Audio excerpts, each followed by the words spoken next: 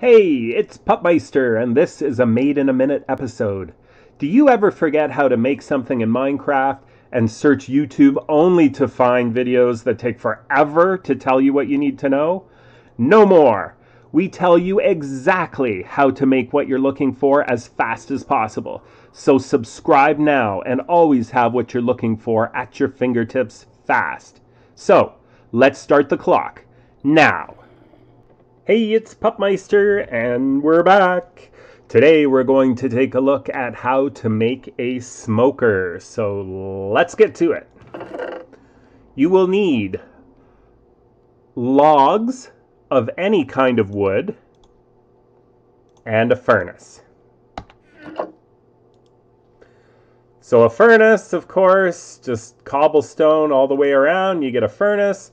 And we're talking logs here, not planks, okay? So literally what you cut from the tree. And you make a sort of a diamond shape like that with the furnace in the middle, and you get yourself a smoker.